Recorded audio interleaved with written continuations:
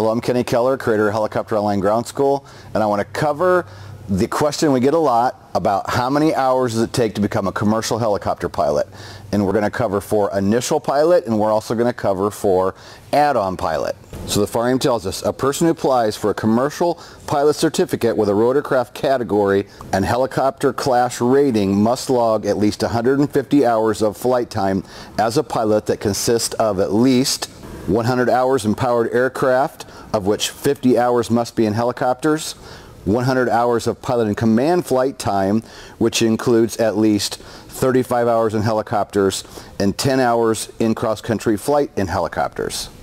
It then tells us 20 hours of training on the areas of operation listed in 61127B3 of this part.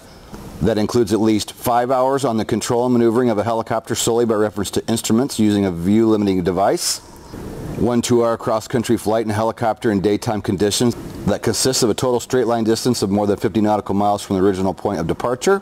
One two-hour cross-country flight in a helicopter in nighttime conditions that consists of a total straight line distance of more than 50 nautical miles from the original point of departure. Three hours in the helicopter with an authorized instructor within two calendar months of the test.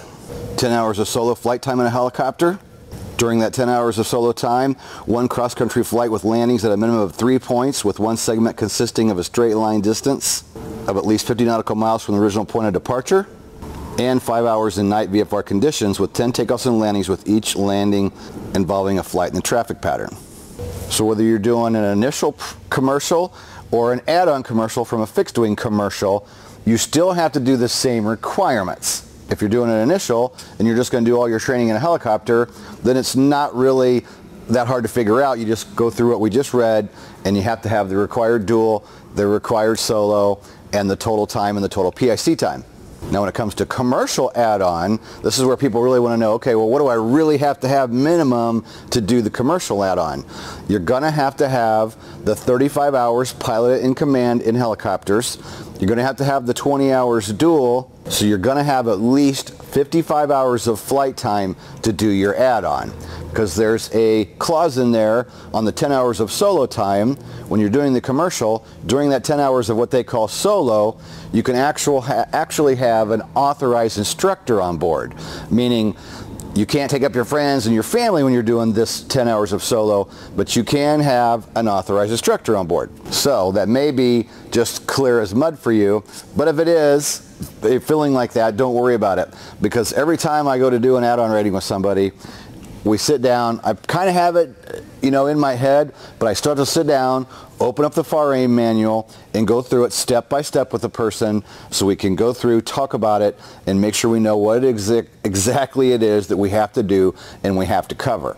So I wanted to make this just kind of an in general vi video to give you an idea.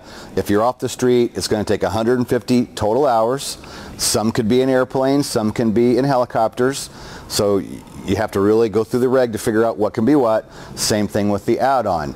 150 total time, and the other key is the 35 hours pilot in command and the 50 hours in helicopters. So I hope that helps just a little bit. Please give us a like and a share.